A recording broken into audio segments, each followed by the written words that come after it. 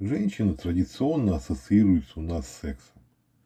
Но давайте разберемся, так ли сексуальны женщины на самом деле.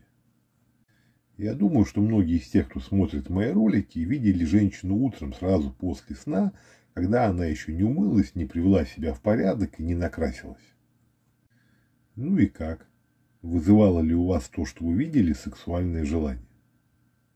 Но тут тоже надо уточнить, что пока женщина молодая, когда она просыпается, выглядит еще нормально. А вот на бабу после 30 для сохранения своего собственного психологического здоровья утром лучше не смотреть. Как-то читал статью от какой-то психологини, почему мужчинам нравятся милфы. А вот мне, например, милфы совсем не нравятся. Дряблая кожа у женщины после 30 ничего, кроме брезгливости и отвращения, у меня не вызывает. Ну и самое отвратительное и асексуальное, то, что вообще убивает любое желание, это волосы на женском теле. Вы когда-нибудь видели женщину, которая не сделала депиляцию или не побрила ноги? Если не видели, то таких женщин я вам сейчас покажу.